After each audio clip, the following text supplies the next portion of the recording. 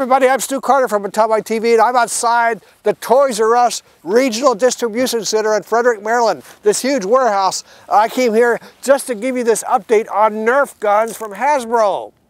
Why am I outside here when I could be talking about Nerf? Because I was not allowed to take any pictures. I was at the Nuremberg, Germany Toy Fair.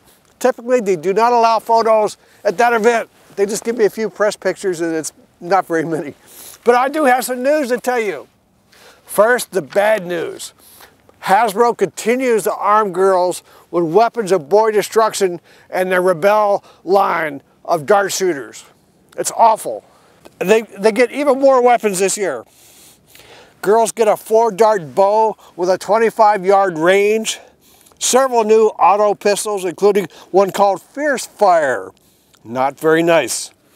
There'll be a, uh, there'll be a bow with a revolving six shot magazine, There'll be many single shot and small bows this year. And something particularly insidious, a purse, an innocent purse that instantly converts into a rifle. And they're calling it secret shot. Be on the lookout for that. Now on the Nerf, the word now is more power, new colors. You're gonna see white and gray colored uh, weapons. Super Soakers, Summer Fun now goes full weapons of mass destruction. They've got a Super Soaker gun that directly attaches to your lawn hose, your garden hose that directly attaches to the gun, which is probably great for defense of your headquarters, but not very good at the attack, right? Because you have to, you know, yeah. N-Strike will be more modular this year, and a weapon called the ECS-10 will have a, it's a large automatic rifle. It'll come with five accessories. There'll be add-on modules available also including extended magazines, three kinds of scopes, a silencer, extended barrel, a hand grip, extended shock, a stock, a shield, and it comes with white darts. But they're still the same, the same size, your traditional Nerf dart size. No worry about that. I can't be sure, but it looks like these modules will work with your older Nerf guns. I can't be sure yet. Uh, but good thing, uh, that's a good thing for me to ask Hasbro when I see him next week.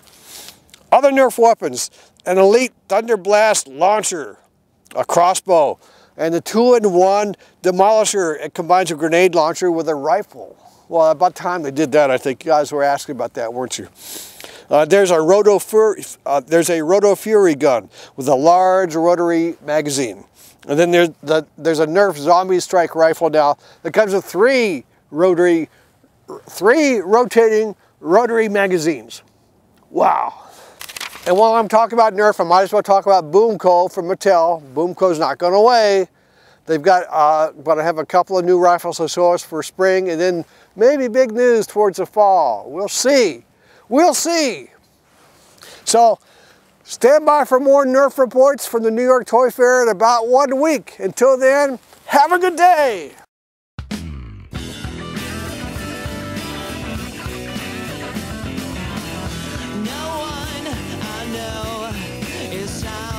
kill me. I guess I'm doing okay.